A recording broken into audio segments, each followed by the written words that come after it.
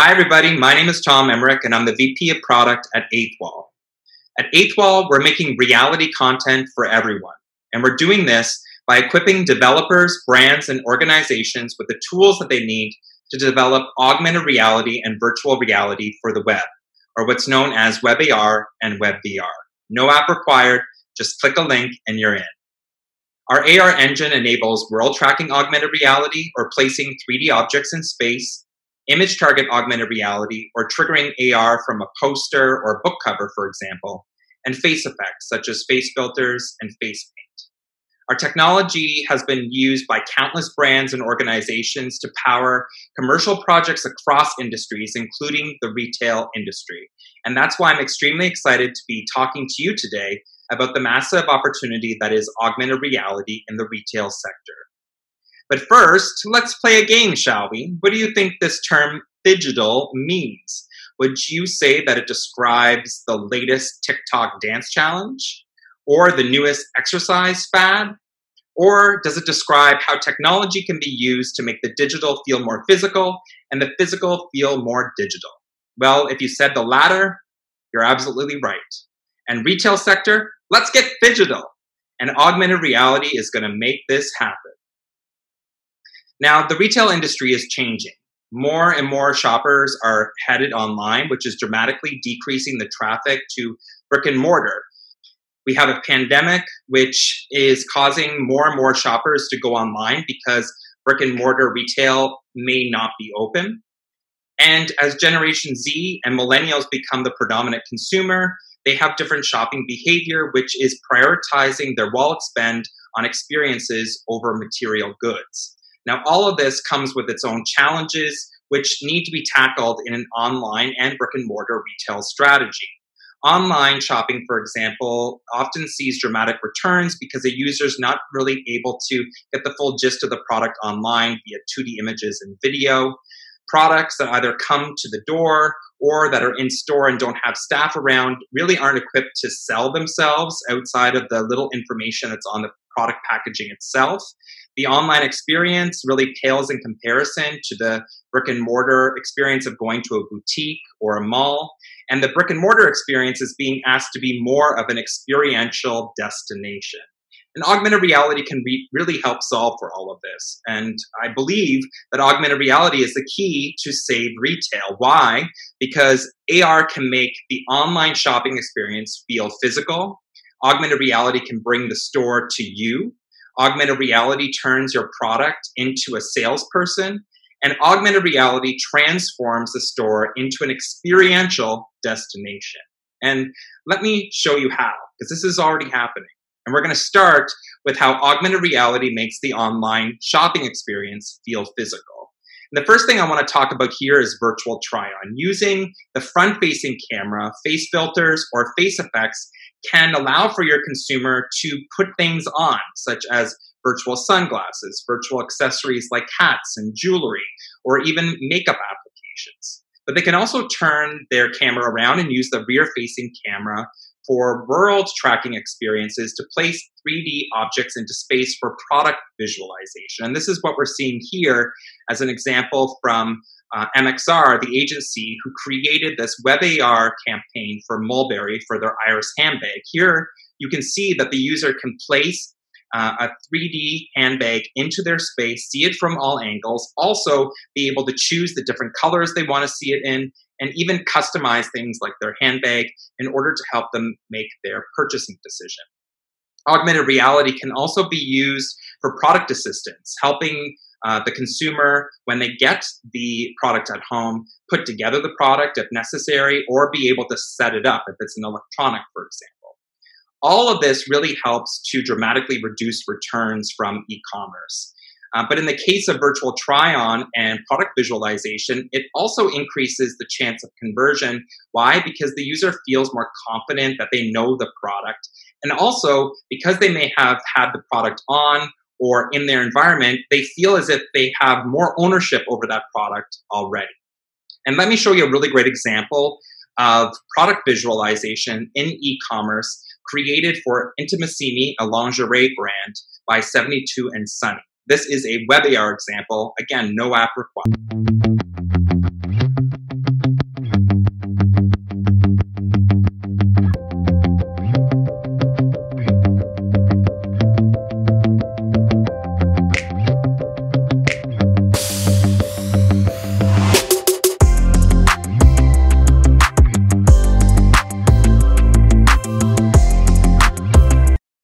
Augmented reality can also bring the store to you, and this is especially key in today's times.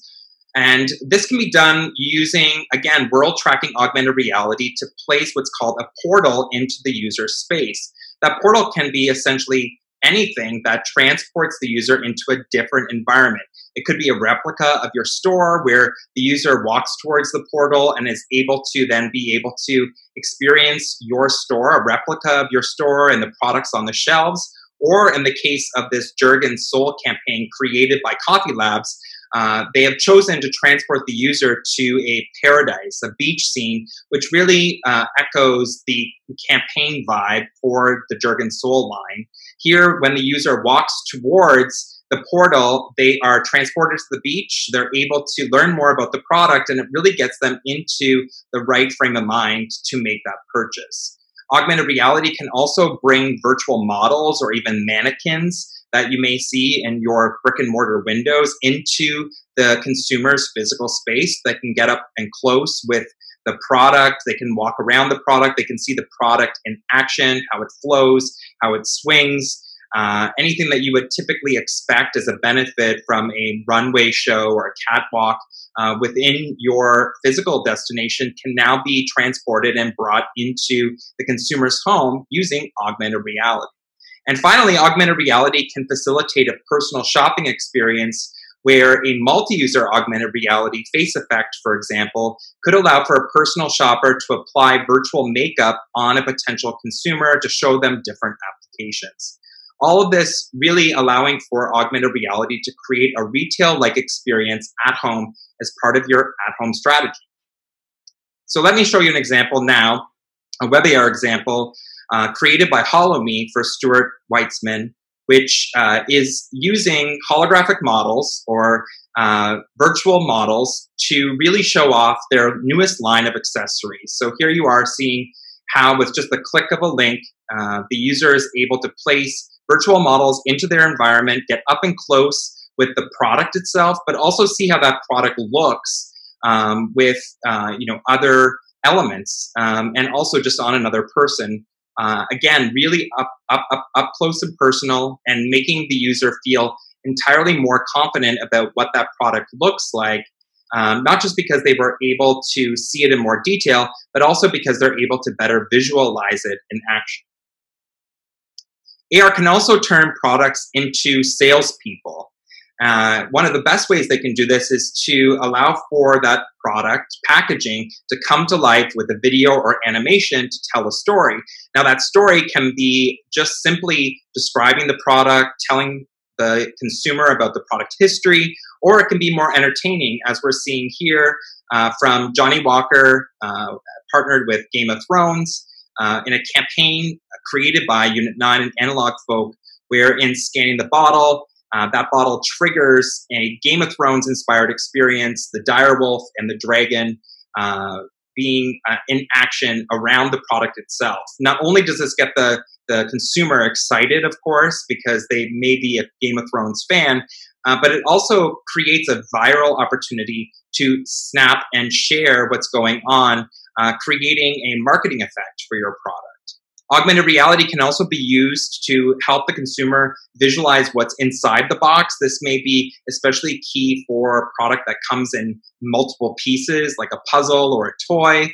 Uh, there, in scanning a QR code on the outside of the box, uh, you can uh, bring up a 3D animation, um, which uh, the user can watch or maybe even interact with to help them better understand what the product is inside of that packaging. And finally, you could even turn your packaging into interactive games, like the back of a cereal box into a video game, for example, um, which really increases the relationship of the consumer with that product, increasing the dwell time and the engagement with that product, where otherwise uh, the packaging would, would just be used for basic information. All of this is giving your packaging a voice so that it can better be a sales tool by telling stories and providing information to the consumer. And let me show you an example now, um, created by Unit 9 for Nike in helping Nike turn their shoe boxes into a vehicle to tell the story about their commitment to sustainability.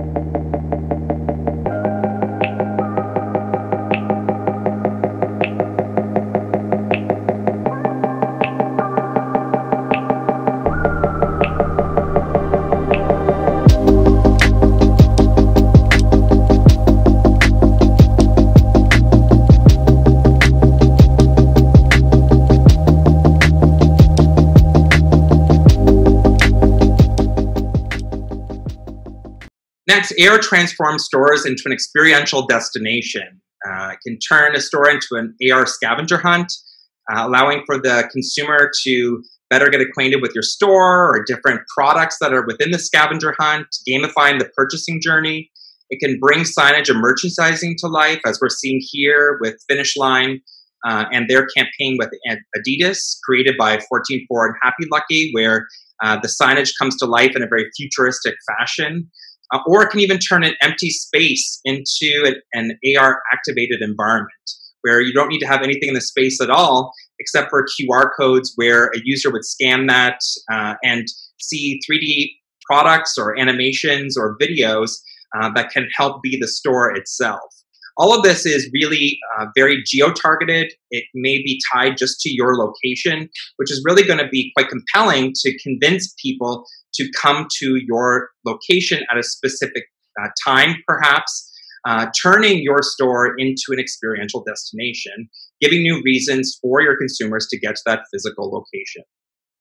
And here's a really great example of that, created by Trigger, the mixed reality agency for Lego, uh, where uh, the consumer was presented with a QR code on signage to scan, as this is a web AR experience. They were brought to the website and they were asked to go on a ghost hunt. And this ghost hunt then asked them to go around the store, capture a series of ghosts, and the reward, once they captured all their ghosts, was to be able to play with the Lego Hidden Side playset. Of course, this is a fantastic example of gamifying the purchasing journey, which ended with a reward that dramatically increases the conversion chance to purchase. So there you have it, folks. That's how augmented reality is going to save retail. Augmented reality makes the online shopping experience feel physical. Augmented reality brings the store to you. Augmented reality turns product into salespeople and augmented reality transforms stores into an experiential destination. I'm Tom Emrich. Thank you for having me. And if you have any questions, reach me at these details. Have a great day.